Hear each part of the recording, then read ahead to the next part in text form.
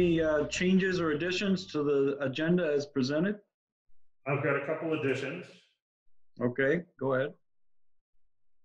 Uh, I want to briefly review the lease for the apartment above the Holcomb House. Okay, Uh, And uh, I want to bring the board up to speed on uh, revolving loan fund application that Jenna's Promise is putting in. And uh, I believe Doug has something on, uh, go ahead, Doug. uh, you're on mute, Doug.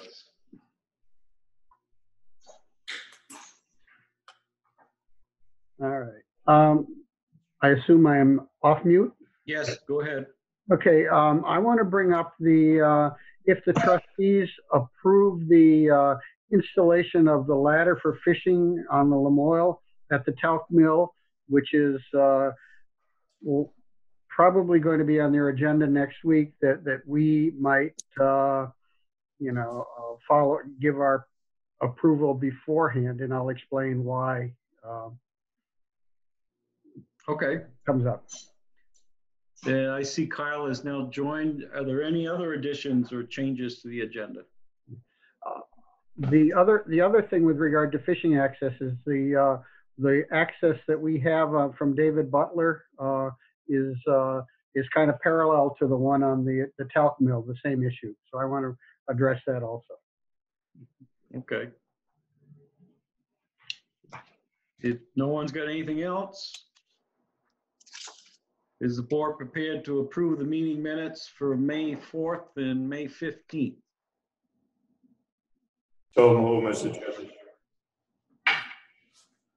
We got a motion? We have a second? Okay. You're gonna have to unmute yourself, Nat. Uh, he, yeah, uh, I've got to unmute. Can you unmute all the board members, Yes. please? Okay. Second the motion. Okay, we got a motion and a second. Any discussion? I'm gonna abstain from the last meeting minutes because I was not there. So um, the 18th, I believe. Okay. So Donna so notes that uh, Carl is recusing herself from the 18th. Any other discussion? Seeing none, hearing none, all those in favor, signify by saying aye. Aye. Those opposed? And now Rosemary, you've got the floor.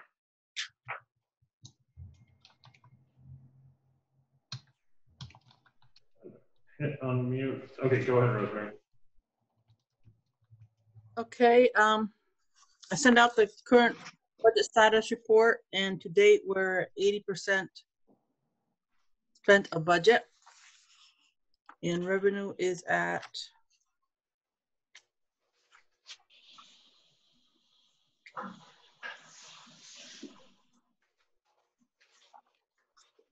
Wasn't that like 98%? Yes, almost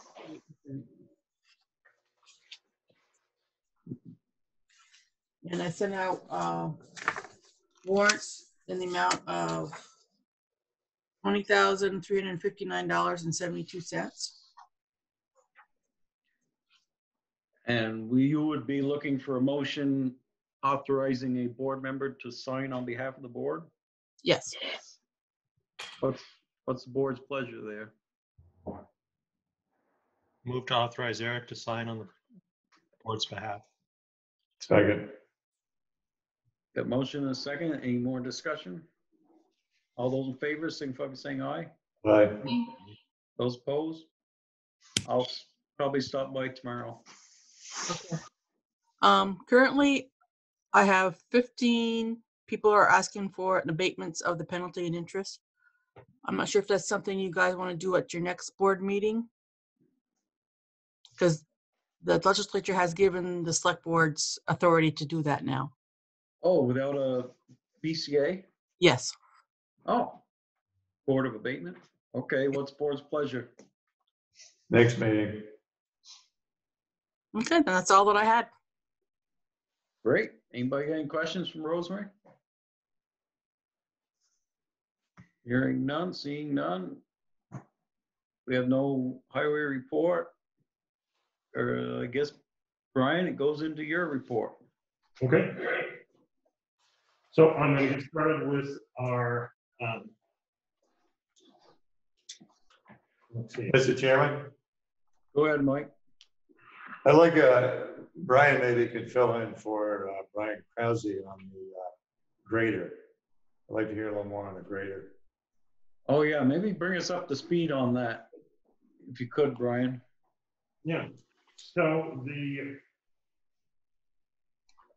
grader, uh, the transmission on the grader has broken down, so we are uh, pursuing getting that repaired. Uh, It's estimated to take about two weeks for us to complete the repairs. Um, We are completing them in shop, bringing in a qualified John Deere mechanic, um, local guy, LaHoulier, can't remember his first name. Um, Rick. Yes, Rick LaHoulier, uh, is coming in and doing it. um, And we expect about two weeks total transition time before it's back on the road. Um, it, the cost is gonna be, you know, thirty to forty thousand dollars in, um, a lot of that's parts. Um, but time and parts, uh, and one of our guys is gonna be devoted to, you know, mechanic for the, the, all that time too.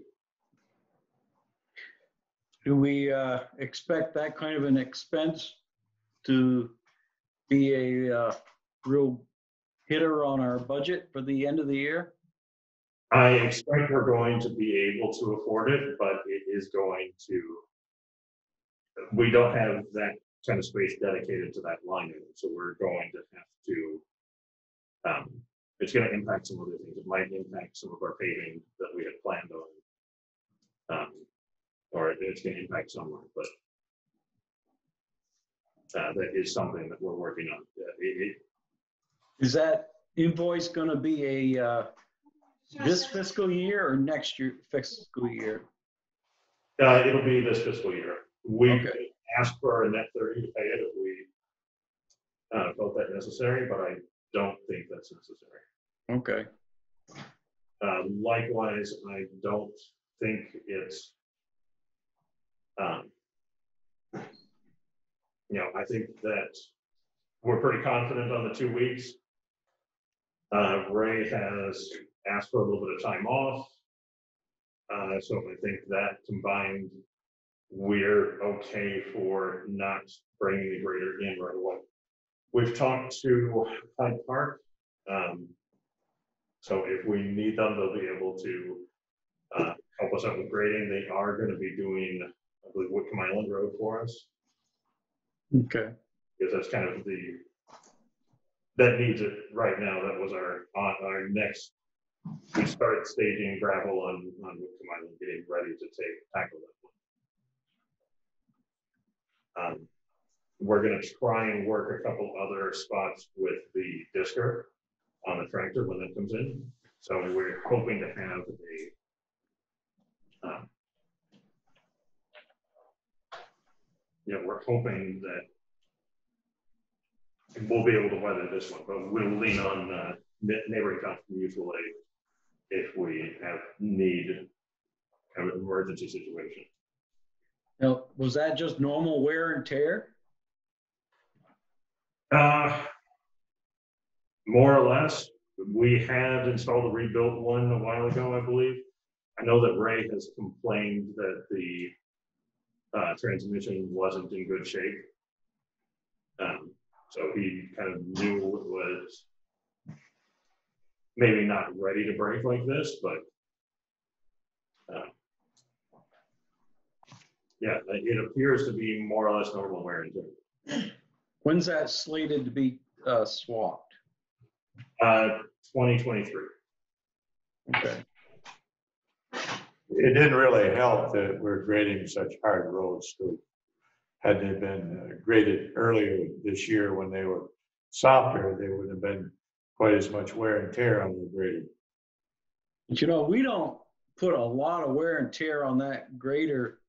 You know, when you think about uh, some towns, or we used to years ago, put a wing on it and uh, wing back the snow and run it, you know, year round. And we don't do that. We haven't done that for years.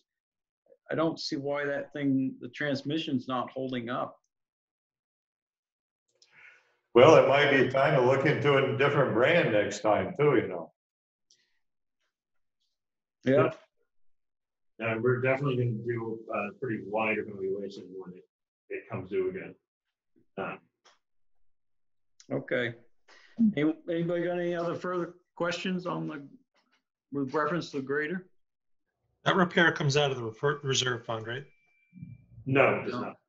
Our operating fund. It does. The reserve fund is only for the purchase of equipment. Oh, I Right. thought You could do maintenance there too. That's too bad.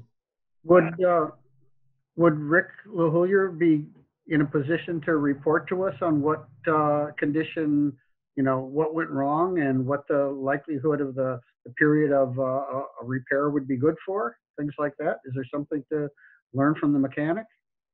I'll ask him if uh, he would like to appear before us or if he can brief Brian on it for when Brian's here at our um, June fifteenth meeting.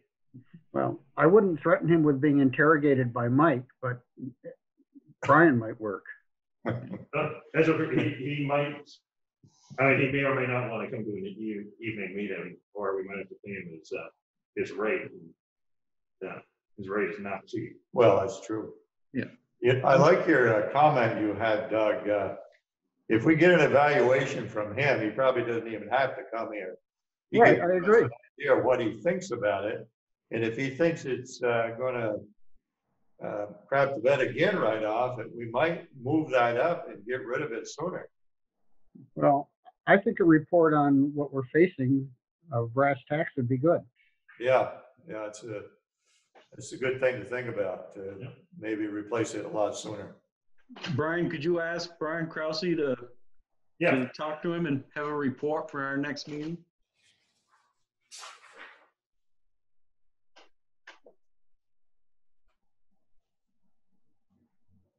Okay, Okay, all right.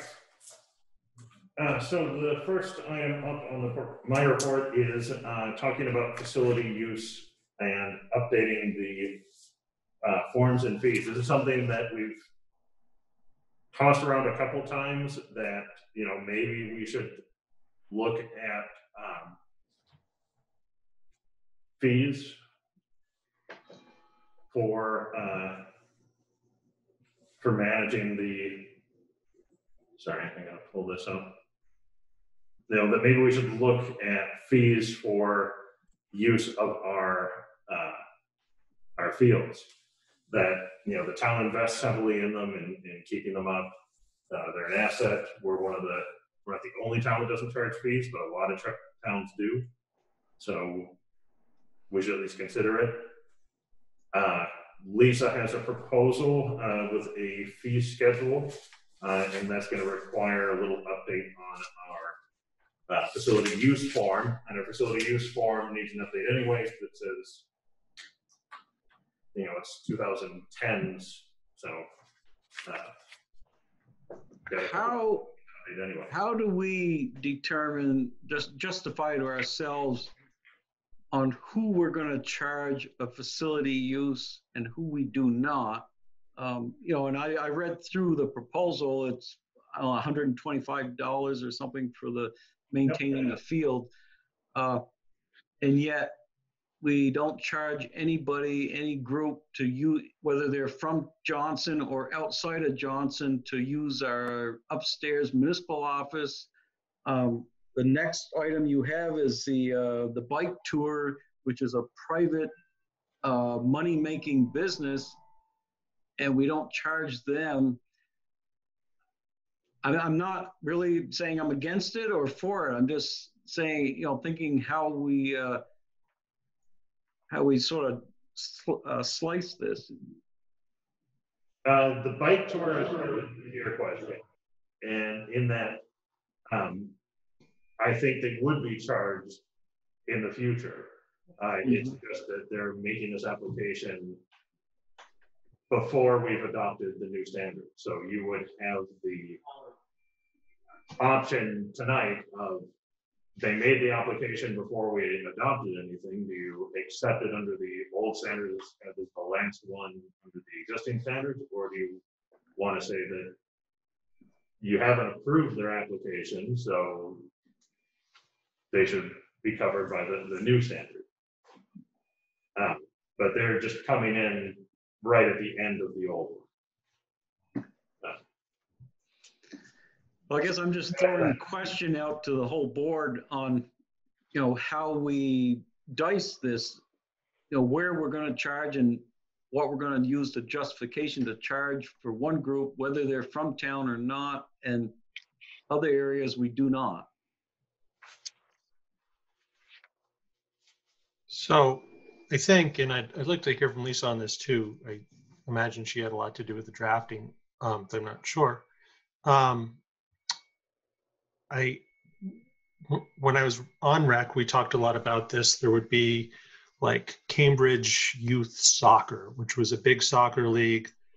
Um, and they had practices and games regularly in Legion Field. And um, that regular use was a real expense that we that we incurred on a sort of an annual basis and field lining can also be pretty pretty costly. Um, so this is a an out of town group that's collecting registration fees for regular regular use of our equipment and there is regular wear and tear that we need to repair. Um, and so collecting modest fees in, in that situation to me makes a lot of sense. Um, for one-off events or just pickup games of soccer that meet down there regularly, that doesn't make as much sense to me.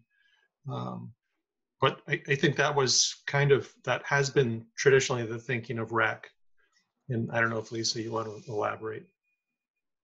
Or if you don't want to be put on the spot, it's fine too. No, no, that's fine. Um, I don't have too much history with it. I know when I was on rec many years ago, we talked about it at the time, and then it got shelved again. Um, having gone down to the fields recently because we had interest in someone renting them and sort of just checking them out and stuff, we do have some goal damage from just the goals being older and things like that. That we're going, if we were going to be renting them, which they are not actually following through with. Um, so, you know, we can delay it a little, but we would have to, you know, do some mending of our nets and fixing of some goalposts and things like that, which of course do have costs associated with them. Um, anyone who wants to do, you know, pick up Saturday soccer or the women's group that meets, they just could do it under the heading of Johnson Rec. You know, come to me, we set it up, you know, and come to the rec committee, get it set up, and then that would be covered as a non fee-based use and we would then also know who was down there and what they're doing because there's it, it's sort of a free-for-all unless it's scheduled for rec.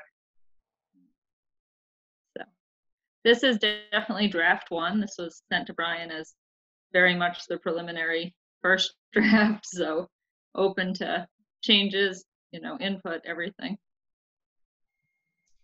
Yeah, I mean, the, the John, the Johnson bike rental, um, I wouldn't want, I mean, at this point, I really would not want to charge them. Um, because I think they're kind of doing us a favor by being a presence down there and I think it's a nice business for the town. So, you know, if we had 10 businesses down there that were all, you know, creating a lot of wear on the, on the property that needed to be maintained, I would have a different idea on that. So I don't know how to draft the policy that way, but that would be what I'm, my thinking. Um, I actually I spoke to Jim a little bit about this when I was writing it because I happened to run into him at the fields at the time, and he said um, there's also another way to do it is to put a you know small fee associated with the permit process, you know, and so sort of maybe delineating between field use gets X fee, and then if you just want to put a permit in to use a space that's not specifically a field that gets upkeep in the same with goals and you know fences and benches and all that stuff, maybe they would have a different fee schedule for that of just using a small space of land or something. Yeah, but I, somebody put in a use fee last, a, a use request last, last year for a birthday party for their, for their five-year-old daughter and, and a, a local person. Like, it just doesn't make any sense to charge someone like that. So. We could, we could just put a line in then that says that, like if you're a taxpayer in Johnson and you want to use it for an event, go, you know, just schedule it with us and. you can use Non-commercial, non-commercial. Yeah, so I think the people we were looking, I think the reason this came up is the request for use by a soccer club out of Essex that's making substantial money off their players, and the person said, please let me know your field rental fees. So we were like, oh, yeah, we should really visit that idea. It's a way for revenue for keeping costs down and helping offset stuff. Absolutely nothing wrong with that. Yeah, Beth's trying to speak also, and I think she's probably talked a Yeah, lot about there's- her rec I wa- experience. I wanted to give the board members first the opportunity to uh, speak to it, and then we would open it up to public. There's a Evan Patch that has raised his hand and Beth. So Can is I there any speak? further comment? Okay, go ahead, Doug. Yeah, um, I would point out that the property that Jim Rose occupies is, is not, uh, is town and village property. It's a talc mill property, I believe.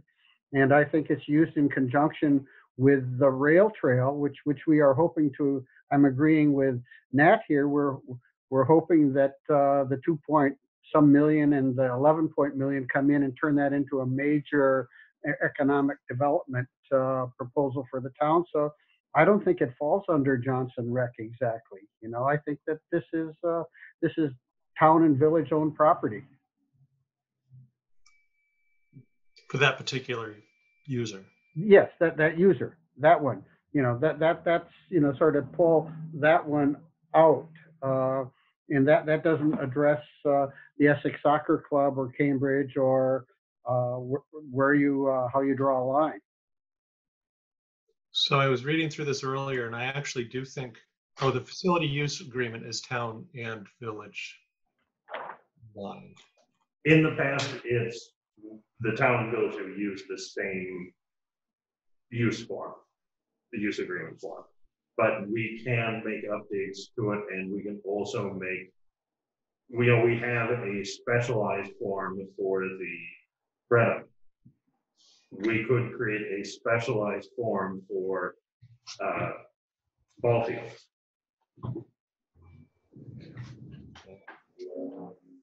Um, you know, that we have one for things like the, the soccer club that, you know, right rectangles, and then we've got, uh, we can have another more general form that we handle the way we've been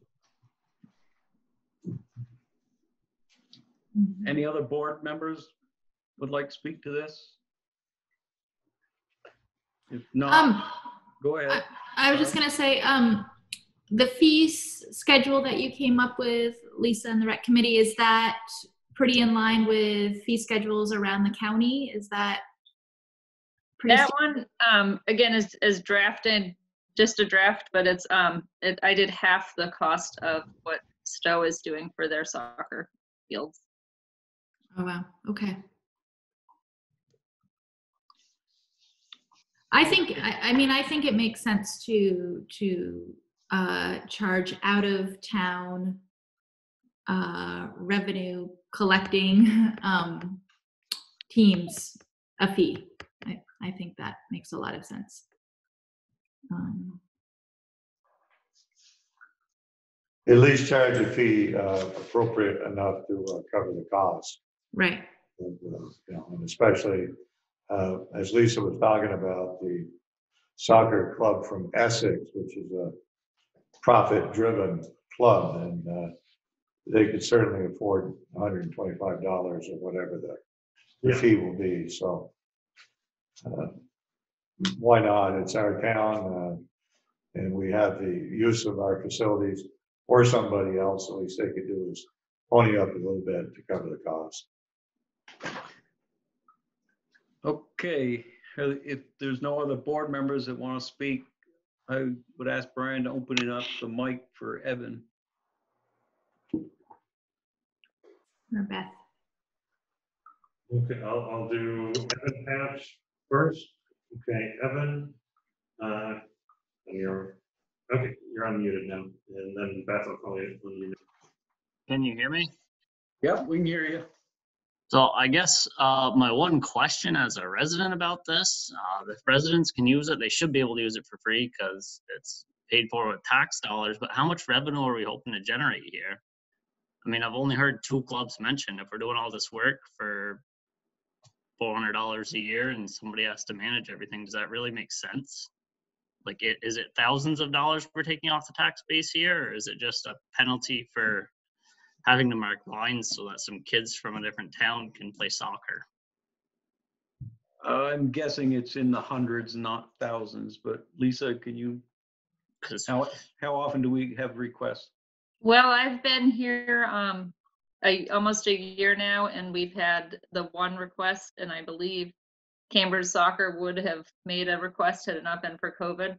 So it's not a tremendous amount of money. Um and it's also though not a tremendous amount of management on my part either. You know, they send an email, I ask them for the insurance and fill out this permit and give them the go ahead, I think is probably you know, about all it'll be, a little bit of scheduling here and there, but Nat, you raised your hand? how, 120 bucks isn't really a, a ton of money, but it does go quite a ways. Um, just the way that rec manages those fields. So it, it, um, I think it makes sense for people from out of town who are using the field to have a little uh, contribution. Okay, thank you, Evan. Did you have anything else? uh, I, it was just an income-based thing. If we've already Okay. spent town hours of more than this thing will bring in in two years, I don't really understand it, but I, I understand some fees to out-of-town people, but Yeah. it doesn't seem like it's gonna trim anything. Okay, thank you. Beth? Okay. All right, go ahead, Beth. Um, so I have a couple a couple of comments. One is that um, I'm actually all for charging the clubs because the clubs do make money, and particularly soccer doesn't have a lot of overhead, so they're in theory making quite a bit of money. Um, and I also know that those soccer goals that Lisa's talking about are really expensive. So I think that, and they're actually, by the way, have been in really bad shape since I was on rec, and I'm pretty sure they haven't been replaced. And there's a couple that are probably not safe. Um, so, but all of that being said, those are really expensive. And I actually think that on top of charging the fee to those clubs, I think there should be a deposit for damage that gets returned to them after they're done using them because those goals are so expensive. Um, also, um, I actually don't think we should be my opinion, charging anything for the lining of the fields. I actually don't think we should be doing the lining. We have lining for our clubs and that's it. And if anyone else needs lining, that's their responsibility and it's part of whatever the contract is that's signed um, for the usage of the fields. Um, and then lastly, I just want to throw out there that um, Old Mill Park is labeled a park. So I think that we just need to be really clear on what is billable and what isn't because I know I spent a lot of time trying to get people to the park. Um, it's a great space and we want to encourage usage of it. Um, so I just think that that's really an important piece. Um, and lastly, I would just say um, I know that Legion Field and Old Mill Park are both specifically noted here, but um, sorry, I don't know the, I have been corrected many, many, many times over the years, but Chuckerberry, whatever the new name is, uh, is also a field that, yes, it is a wet field, but I think that is in some ways um, a nice location for some events, even though access to it is a little bit difficult. Um, so anyway, I just wanted to throw all of those things out there. Um, but, the, but specifically around the the term park, um, if we're talking about this being a public park versus a um, like when we compare to Stowe, we're talking about Stowe soccer fields or Stowe. Um, they're they're named differently. I guess is my point. They're not really called parks in the same way ours is called a park. So I just want to throw that out there for consideration. Okay, Brian, is there anyone else with their hand up? I don't see anybody else with their hand up. Okay, Greg Taker had a comment in the in chat. um, You know, that it, this can be good for local economy, stores and restaurants and things. I think that's true. um, And my, my kind of answer to that is I think that the fee we're talking about for hundred and twenty-five dollars for a season for use, I don't think that's gonna make or break uh, their decision to come to Johnson. Our- Our fields tend to be in pretty good repair. uh, We maintain them well, and that's still gonna be relative compared to other options. so I guess what's before the board is, this was the first draft Lisa is providing to us. Uh, Does the board want to send it back for any changes, or are we prepared to adopt it? I'm, I'm curious about requiring insurance and why that's necessary. I think, if I remember, I was reading a couple different documents today. I believe that comes from the pre-existing, oh, I'm trying to scroll the document, sorry. That's from Brian's screen. Um, I believe that's the pre-existing from It is. town and villages, yeah, number eight, that was already on there. It's already for on the there. permit. It- I'm, I'm wondering is if it's necessary. We, I think we're pretty well insured for activities in our parks. Um, I'm wondering why there's an occupancy limit too.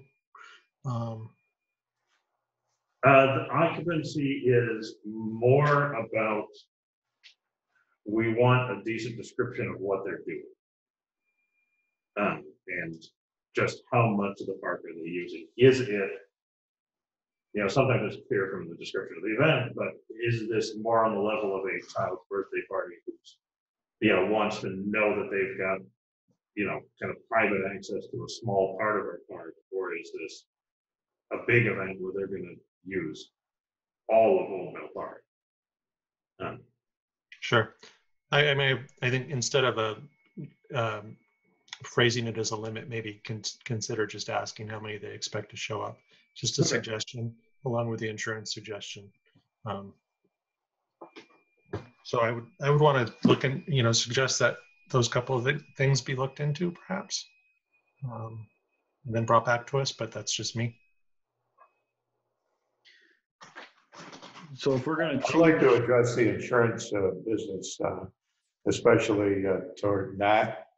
Uh, It's one thing if uh, a Johnson resident uh, gets hurt on the soccer field, let's say, and then goes after the town insurance. And it's another thing if you have somebody from another town come here and then use our insurance. Uh, I don't see anything wrong with having the out-of-town group provide their own insurance, and that way they can take care of their own people if something happens.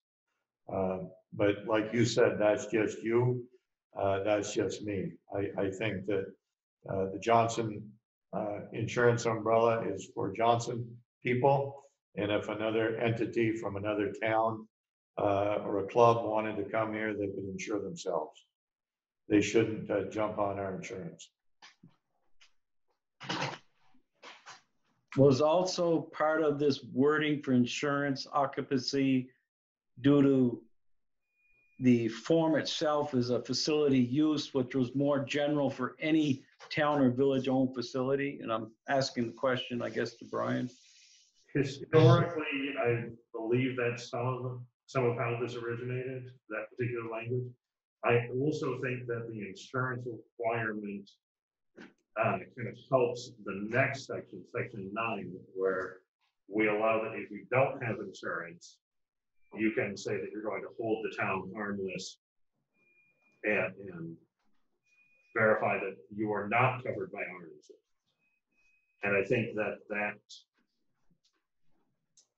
I'm not a lawyer, but I, I think that that helps, that the section before it helps back that up. That we're, we're recommending that you, you should have insurance.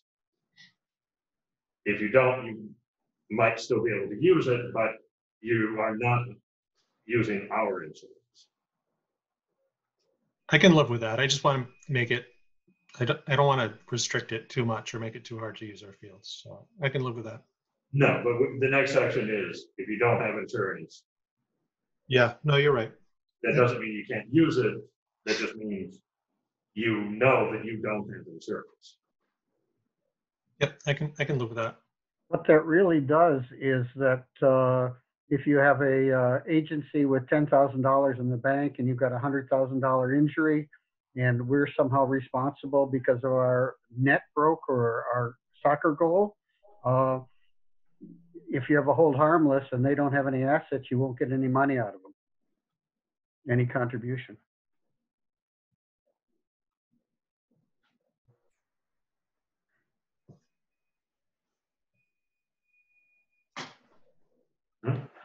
So I think Lisa and I have some comments that the board would like to see uh, that we can work on incorporating for the next, uh, the next review. Okay. Thank you, Lisa. A lot of work. Good work. Yeah. Excellent job with that, Lisa. Back to the draft two, coming at you. I do like I do like Beth's comment about really being very clear between the fields and the park. I think that's a really important distinction. Okay. Next up, uh, Lamoille Valley Bike Tours as a facility use request. This is uh, very similar to the use request that they've made in the past. Uh, but it has a couple changes. Uh, let's see, the, they want an additional day of operation, which I believe is, uh, I think Wednesday. Jim Harlan. Correct me if I'm wrong. Yeah, Jim, I'm gonna go ahead and unmute you. Uh, but it's a, one additional day of operation, which I believe is Wednesday, and uh, it's a request to leave the bike trailer on site overnight. Um, And Jim is here, and I've unmuted him. if we have any questions for him. Hi, folks. I am here. Hey, Hey, Jim. Jim. How, how is everybody? Good. Excellent. Thanks for coming back. You're looking Yeah. at four days of operation, Wednesday, Thursday, Friday, Saturday, and the request is to leave your, your uh, trailer there overnight, which is different from the prior. That's correct. I think we had the same operating days last year, um, and we have fluctuated. Um, but yeah, the the ask about the trailer uh, again, it's an ask um, for us. Uh, it it there's a lot of efficiencies involved with um, transporting uh, the bikes back and forth every day, and um, it was something we had um, thought about in the past, um, but haven't you know our needs haven't really led us to that but um you know we we are well pre-covid uh certainly uh, planning uh, a lot. We've experienced some growth and um just as we adapt to that um as brian knows i've been talking with him about this space just trying uh to hard plumb a little bit more uh to the recreational area down there. We're you know all about um, tourism in that area uh, recreation in that area um, all about the railroad street area wide plan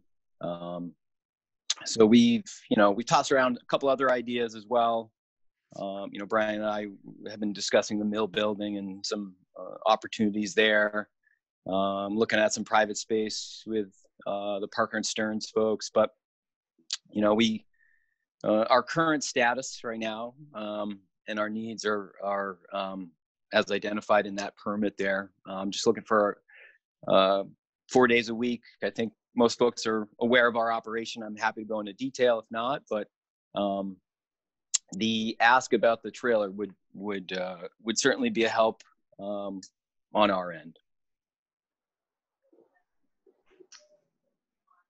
What's board's thought? Jim, are you thinking the trailer would be, would you leave it on where you set up, like on the lawn there by the, um, by the building, by the food shelf building? Yes, we're focused on what I'm calling the mill building lawn. Yes, and that, yeah. that area there, yeah. And we're flexible in, in, in all of this conversation, you know, we're certainly open to thoughts, so. I think your presence down there is really beneficial for us. It it uh, just keeps a presence down there. Somebody who's who's there keeping an eye on stuff. Right? It's also just a really great business. So, motion to approve. Yeah, second. Got a motion to approve and second with no conditions or changes. Any discussion? And your Right. trailer request is in the is in there, right, Jim? Yes, it is. Okay. Uh, yes. My question is, how, how are you, how is he planning to secure the trailer so it isn't like, uh, ECI or whoever, where somebody backed up, hooked onto it and drove away with their trailer? I mean, We've it's- got some, yeah. We've got some favor of this thoughts. Proposal, but. Yep. No, duly noted. Security is one of our um, w- one of our concerns there. Um, we'd we'd like it not to be, but um, uh, certainly with having that down there, um, you know, one thought is we'd love to uh, perhaps build a little uh, platform that would surround the tongue and ball of the the trailer, um, and you know we could use it for increased signage or something like that. But um, in a way, our thought is to be able to secure that so that access to that would be um, limited. Uh, we do have a lock. It's the the ball itself is is locked uh, with a deadbolt or, or, or lock um, every day, even as it is. But um, yeah, I mean th- that concern there, Doug, is is something that we've talked about uh, quite a bit. So Doug, that's his problem, not ours. Any other discussion? As long as you're well insured, Jim. That's uh, we are. And, and Jim, were you able to talk to, uh, uh, Troy from the village about, uh, uh, S- uh, that is still something that I would love to follow up on um, pending the results of this conversation tonight. And I guess, But I- oh, sorry. Go ahead. Certainly want to have him on board. I mean, we've we've certainly uh, enjoyed working, um, you know, with with all the mixed uses down there, and and uh, in short, we just you know we want to maintain those relationships. So happy to happy to chat with um, anyone that that need be. Is, is there going to be a village sign off on this? I had reached out to Meredith with the with the same request, um, and I, I had not heard back, and might look for some input into how best to navigate approval there. That's shared property, so they would have to give the bless as well. And I'm sure there won't be any problems, but when did you put that request in, Jim, with Meredith? Um, it wasn't too. It was previous to this meeting, so um, I I can follow up with her. yeah, you should. Yeah. Yeah. And Kyle, you had something you wanted? That was actually, that was actually my question. Okay. you had talked to the village yet. Yeah, Yeah, I'm happy to advocate for you there if you need, Jim. But I I think she'll uh, probably work with you, get back to you.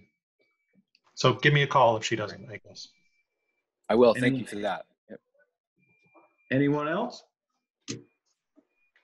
If not, all those in favor signify by saying aye. Aye. Hey, Those opposed? Have a good season, Jim. Thank you, yeah, Jim. good luck. Hey, thank you all. Thanks so much. We'll see you this season. Yep. Yep, thank you. Have a great night. night. All right. Uh, next up, we've got the study and pre-approval of autonomous vehicle test. It's Uh, hard to hear you, Brian. Say again? Hard to hear you. Sorry. Uh, The next topic up is the study and pre-approval of autonomous vehicle testing. Uh, There's a very lengthy guide on this available on the website, which I didn't include in your packet just because it, uh, Waste too much paper. well, and I- it was over the limit, the file size limit on what I can email out to people. Um, but the kind of short version for this is we're, all we're agreeing to right now is that we are inviting the discussion, that we would be willing to talk about it. Um, I think that this, I, I would take this pretty enthusiastically uh, as an endorsement. I think this could be really good for us. I think it could be really good for some of our institutions. Um, you know, the, the college might be able to find some partnership opportunities here.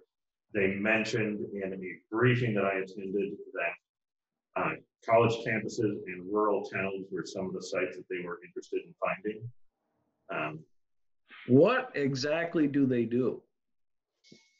they will be, uh, I mean, they're gonna be working on setting up kind of controlled environments where they're going to run a car. um, Especially during testing, they'll have a driver in the car. But the car system will be operating the car. I'm gonna volunteer, Eric. You're, you are? Oh, sure. I think it's pretty interesting. Tell you Yeah. So this is driverless cars? Yep, Huh. Yeah, definitely. Let's do it. Yeah, you gotta get right on this. We don't want to lose this. No. Uh, so why don't we, if I can make a kind of twofold suggestion for this, let's invite the representatives from V-Trans to come and talk to the board and make a presentation on this, so we can kind of keep the conversation going. But if we're comfortable with it, uh, I can put in our pre-approval immediately. So move. We got a motion to approve? What are we exactly approving? Allowing the testing or endorsing it or supporting it? At, at this point, what we're committing to is that we, Are interested. we're interested, that we're Okay, we're comfortable, we're, we're endorsing the idea that they are going to count us among the places that might do. so we probably can do this by consensus and not a formal vote. Okay. Yeah. And I guess, is there any board members who have reservations about it? If not, I would say, Brian, go forward. Okay. And, That was a quick one. yeah, um, I, I spoke to the college briefly and they're very interested in, in this also, so. Good. I want to bring them up as a, uh, a partner in this. All right, next up is the draft building ordinance. So I made a few changes based on our discussion. Did you Uh, talk, uh, show this to the assessors? Uh, parts of it. I was not able to go in detail with them, but uh, I've got a few comments from them, like they gave me the uh, hundred square feet, anything below that, they're probably not interested. Okay, And they had one or two other comments, but uh, no major comments or for changes? no. Okay, Uh, so our purpose, I think I captured what we were describing in that, you know, that this is both a recognition of our responsibilities, um, but it's also about equity and fairness in property tax assessments and. That that's really our driving force is that uh, we're not assessing people universally fairly uh, because we're making people who have more visible homes are getting reassessed and uh, having their property values affected more often. Uh, and it's just a, a, a fact of it, if we're doing it, doing the assessments kind of haphazardly as we learn about them or hear about them. Um, and that's, that's the motivation behind it. So when we get into detail, No, I did not strike out the, I left some of my commentary language in here, that we were interested in something for commercial, but it didn't sound like we really came to any agreement on that, striking that language. Uh, so that's item three from uh, permit required section. The exemptions from permit, uh, freestanding buildings of less than hundred square feet, that was a suggestion from our discussion, and it was backed up by the listers. Ryan, sorry, could you scroll down as you're talking so we Yeah. see the visual? Thanks. So there's item three, that's correct. Thank you. freestanding buildings of less than hundred square feet, that's new, that's based on our conversations uh, here and with the listers. Uh, They, we said we were in- interested in finding out what was the threshold, if it's below this, they're just not interested, and they said the same thing that was suggested of uh, hundred square feet. Uh, I thought about adding something about no utilities or something like that here, but uh, I left it off. I just left it as a freestanding building of less than hundred square feet. And, you know, it's a shed. You know, basic shed, small shed. You know, again, we talked about a tree house, something like that, I think would qualify under this. Um, Yeah, so the thing, there, there's now a threshold where if it's smaller than this, it's not gonna affect the property of your home or the property value of your home. If it doesn't affect the value of your home, we're not. interested. Yeah. Uh, I did, I made no changes to the enforcement or the administration and application section. So that is kind of where we stand. Um, So I've gotten some, can I jump in now? yes, please. Gotten some feedback from some folks in, in town who are interested in, in concerned about it. Um, and I think they helped sort of uh, focus my thinking on this. Um, going back to the purpose, um, I think you put it really well here. The town needs to be aware of building renovations and um, requiring the town to find all changes and assessments without any assistance from property owners is inefficient and it results in increased assessments punishing residents with visible structures. That i think is right on the money.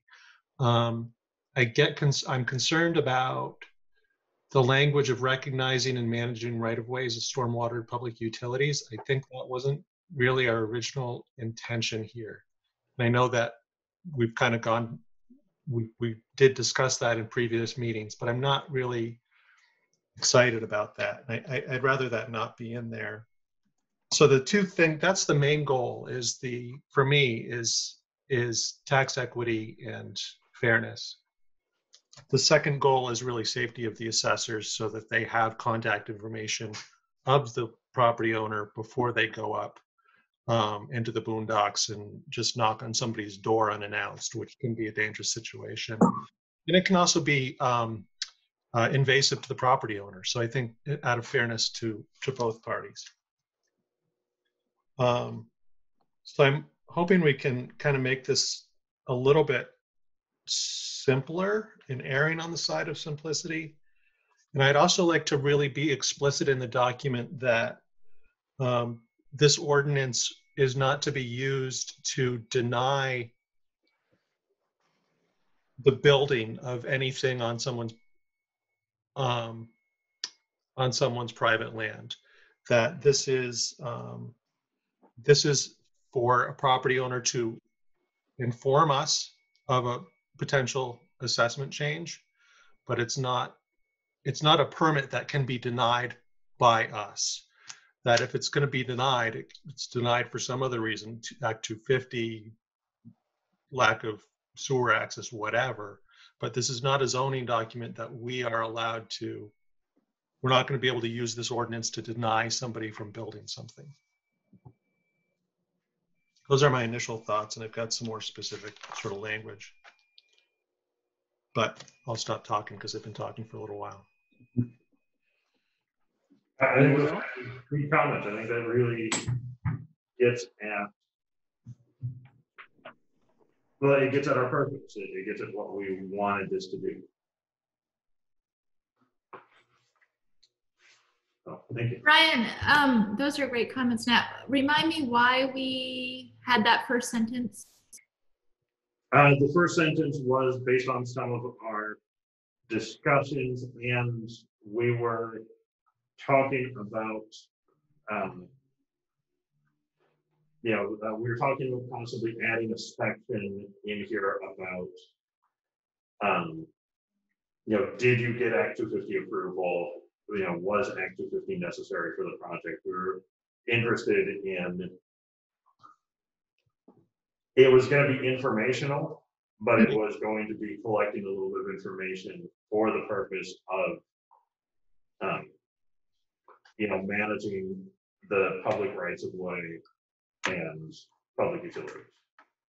Uh, it was not, th- there's never been any intention about having, uh, uh, approving or denying it ourselves, but there was a desire of, you know, wouldn't this, wouldn't it be helpful if we knew a little bit more about what was going on? Um, but that gets beyond uh, knowing what their process is with environmental review and Act two fifty and everything else. That doesn't directly have an impact on their assessed value. Right. Yeah, I, so I agree that that should be struck. Yep. Yeah, we can strike that and, and retain our core purpose. uh, Easily. I don't know why you would strike that when we have a program that, uh, uh, where people have to get permits for town highway access. And town highway access are, are, are, uh, are really important and having people build things without getting, uh, uh, an access permit is, is a potential problem. I think that, uh, we would want to give people information that, that we are seeking to, maybe it's not managing public rights away, but it's, it's, uh, we are, uh, uh, concerned with, we have a duty to ma, to, uh, be, to issue permits for town highway access. And, uh, and they all have culverts and stuff. So I, I think that maybe you don't call it managing public height, rights away, but I think that, uh, in recognize our responsibility with regard to access to town highways. Uh, my, I, in, in the permit administration and application section, I would take out in paragraph two, where we're talking about information on size and location of the project, the existing regulatory permits, I'd take all of that out. I would just say we want a, uh, questions concerning the name, address, contact information, and general description of the project, period. That covers what we're, what we're interested, in, I think. And I don't think we really want to, to pass on the permits when they say, well, we told you had this permit or that. I don't think we want to, we really want to know. And I don't think in number three, we'd want to know the location of utilities, wells, septic replacement, septic areas, etc. Those things I think are beyond the scale of the information or the highway access. Yes. I, I agree with Doug. That gets beyond the intent of what we're looking to accomplish with this. All we're looking for is to be aware of a structure being built for the assessment purposes.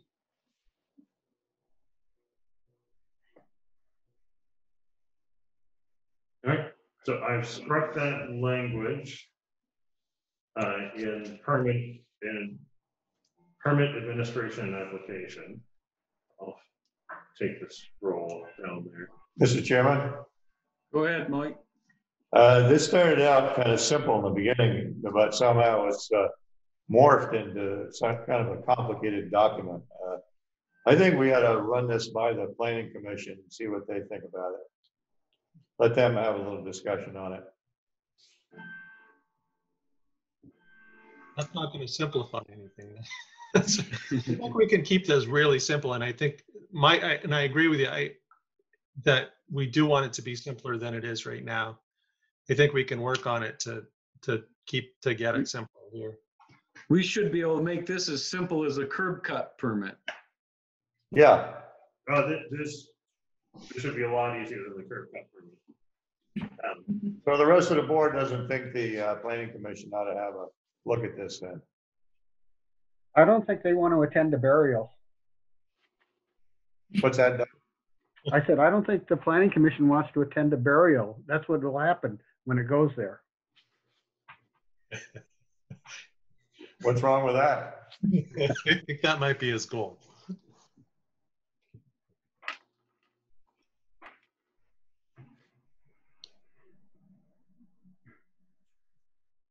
All right, So, so you want to clean up a copy and we'll look at it again next meeting?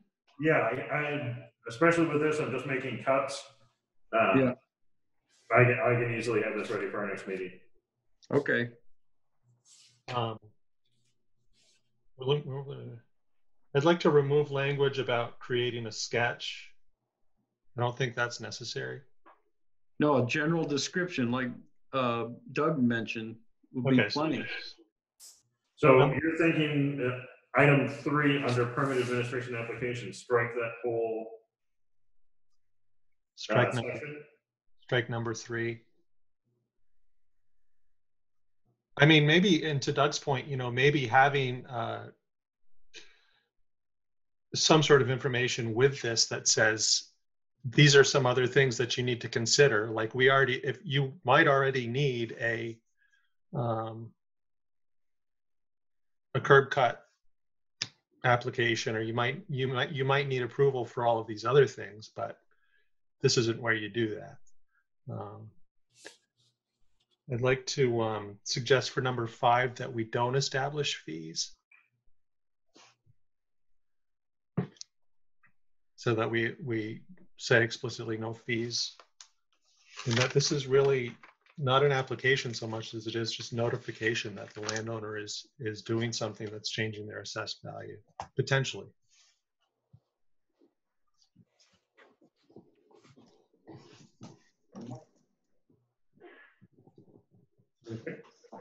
I would be fine with taking five out. It's kind of the camel's nose under the tent.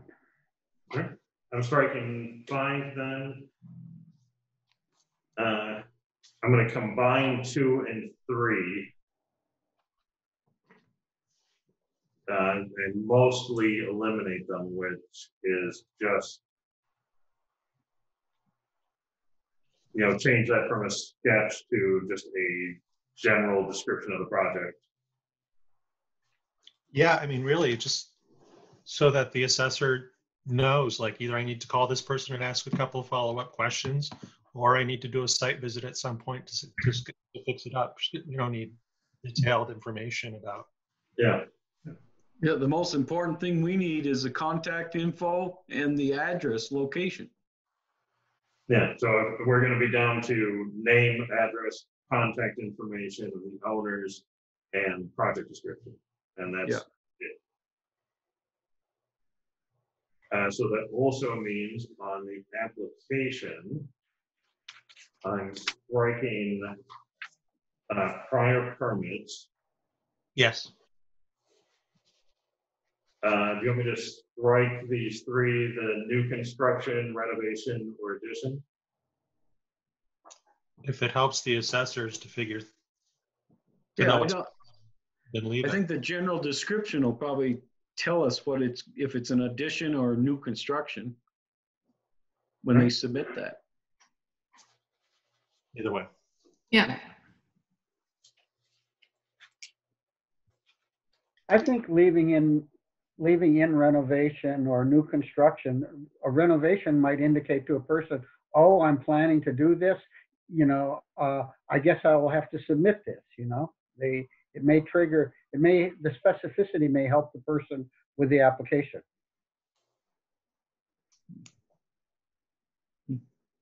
I could put them kind of above the project description. We might think of them as kind of writing prompts or making a description. Mm-hmm. Or I could change them to actual writing prompts. I could do, you know, project description. Then, you know, for example, is this a new construction renovation or an addition? As long as they don't think that they can check a box and not actually write out a description. Yeah. So I'll take another crack at the form too, but yeah, I'll, I'll simplify that.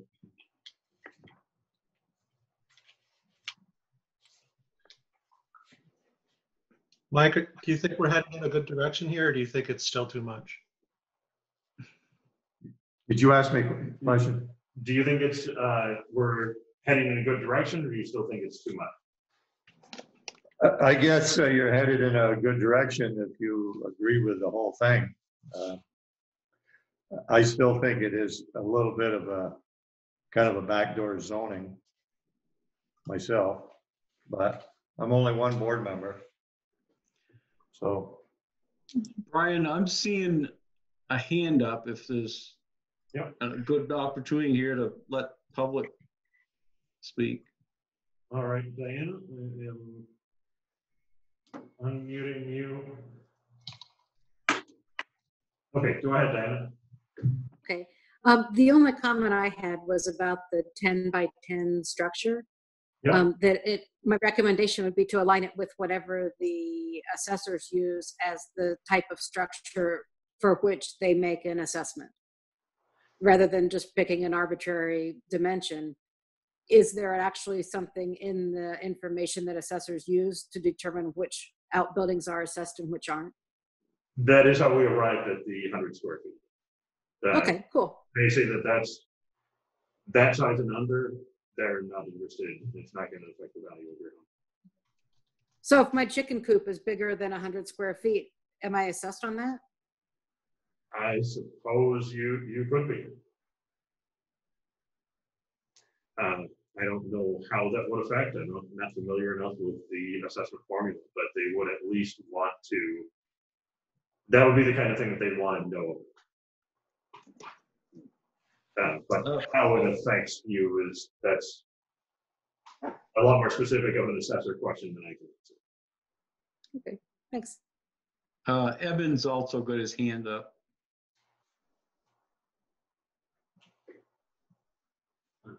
Okay. Evan, uh. Okay, go ahead, Evan. Can everybody hear me? Yes. Yep. Somehow I lost visual, but that happens. Um, I mean, I'm assuming that a lot of this came about because of the property at Lock Mill Lane.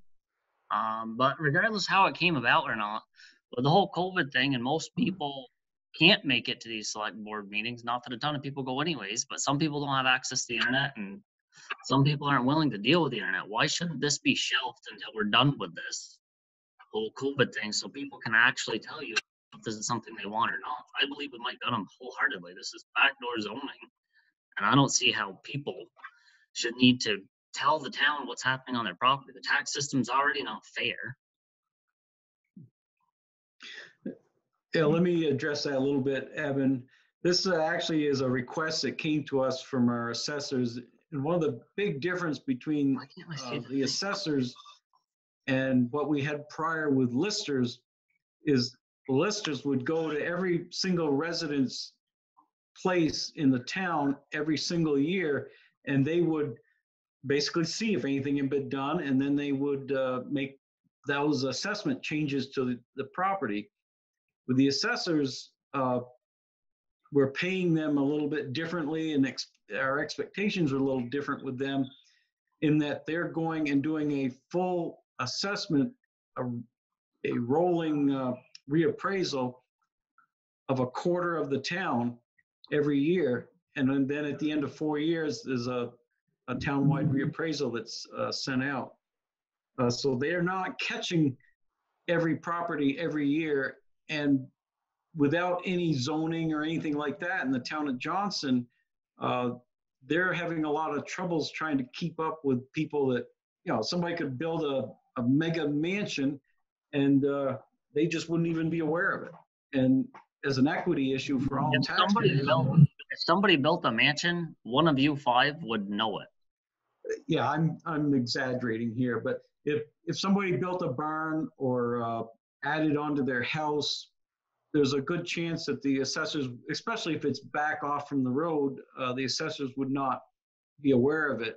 If it's somebody that's right up near the road, yes, they'll, they'll find out about it because there'll be enough people that see it. So it's more of an equity issue for all the taxpayers.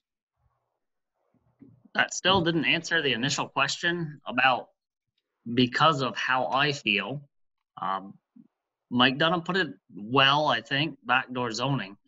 With it being this big of an item, why can this not be shelved until COVID is done?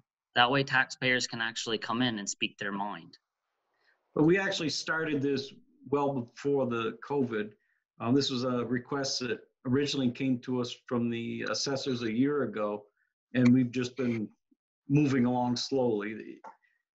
You know, th- this is not going to get approved tonight. You know, there's some more draft work. Uh, there's going to be plenty of times for opportunity for people to uh, to look at it. If the town, uh, the select board decides to uh, adopt it, it, it then has to be posted and there would be an opportunity for voters to draw up a petition to require a townwide vote. It, this is no different than any other ordinance that we work on.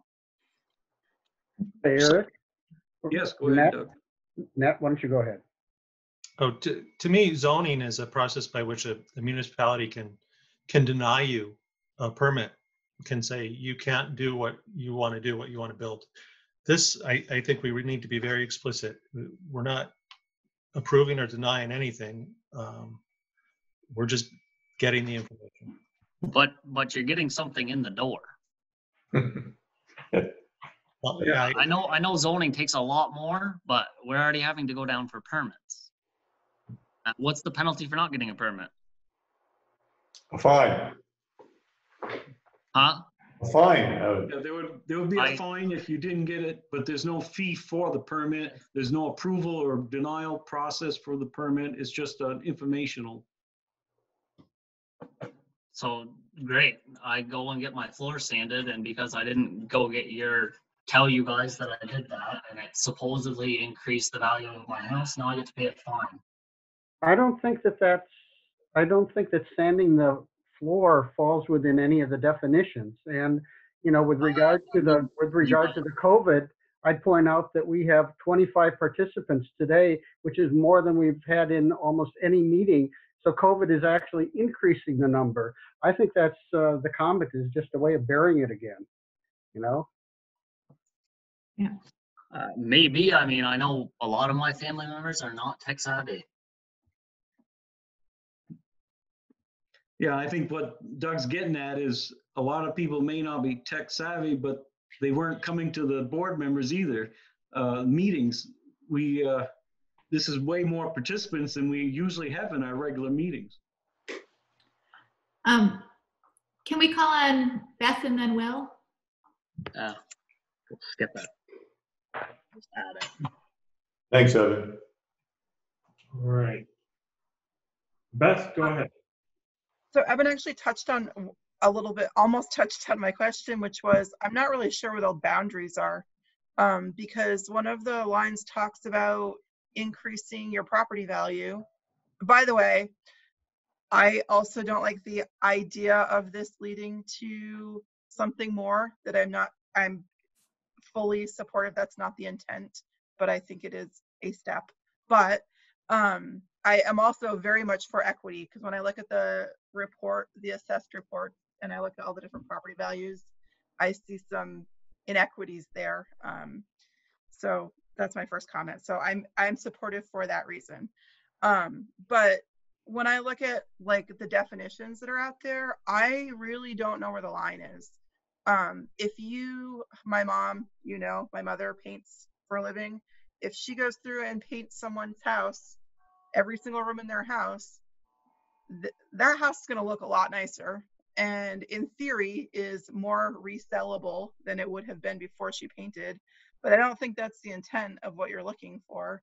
So like how do we know where those boundaries are and are not based on what's here? Because i'm not really seeing it. Um, there's a talk about whether you increase your square footage and there's talk about whether you increase bedrooms and there's talk about um, converting the use to a um, residential versus commercial use. Are those the three requirements or is it more than that? Well, I would just add, uh, say to one thing that you mentioned, Beth, that this, this would not be have an intent, nor is it anywhere spelled out for general maintenance items. So if you, uh, painted all, every room in your house, yes, the, the, making it, uh, sellable is a lot, it increases that, but it doesn't increase the assessed value. Um, if they, you know, if you put on a new roof, that's normal maintenance of your maintaining your building. If you add on a room and it's uh, over 100 square feet, that would be something that would increase your assessed value, and we'd want to know about it. Well, if Or if we're versa. doing, if we're having assessors come in and they're seeing my kitchen right now, 19 late 80s style, uh, versus me renovating my kitchen, I mean, that's a $10,000, $15,000 difference in my house value. So like, where is that line? But the way the assessors do it is, uh, and, and believe me, there is a lot, it's a lot more complicated than what I can really talk to, but, uh, is they look at the number of, uh, you know, faucets